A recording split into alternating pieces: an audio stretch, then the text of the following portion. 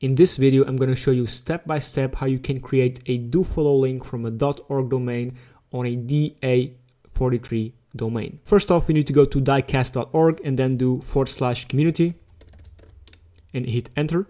Now on here, you need to click register to create an account. And after you've verified your account and received the confirmation email, just head on to the login page. So after you've logged in, you should be able to access your profile. And this is how it will look.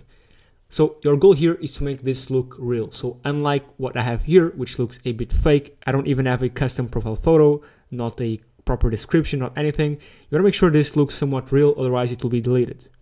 But here's how the link looks like. As you can see here, if I do inspect right here, it is in fact a do follow link with an anchor text you can choose directly to your site again from this .org domain. And of course it does index if we do site colon and then the URL, it is here, it is indexed in Google. So again, a link from a .org domain, a profile link in this case with a DA of 43 do follow indexed in Google.